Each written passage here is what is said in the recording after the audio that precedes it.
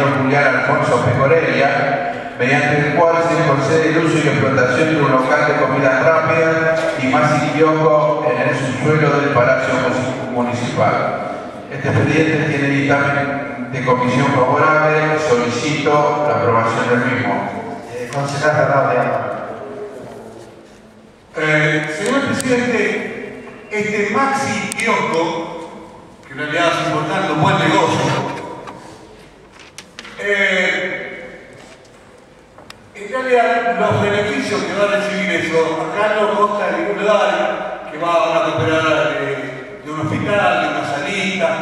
Yo creo que debería, debería ser así, de este modo, en realidad conseguir este negocio eh, en este palacio municipal, donde hay 3.000 empleados, que, viene a hacer el pago de sus impuestos, a hacer trámites. Yo no digo que no sea necesario, me parece que está bien, pero lo que no me parece es que sea así, llanamente se la adjudica a este señor.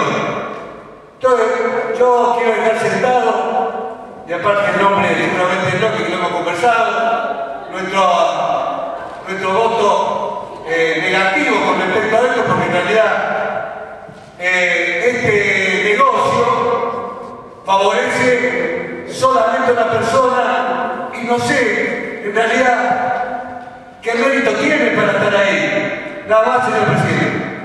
Concejal Herrera, tiene palabra.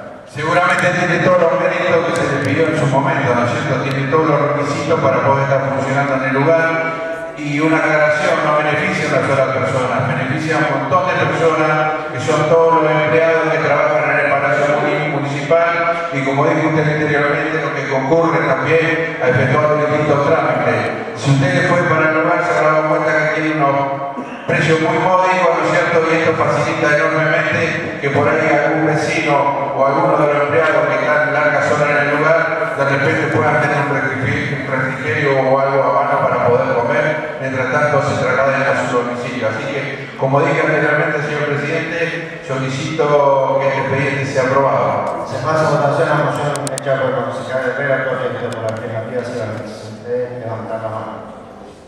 Aprobado el expediente, comisión punto 2.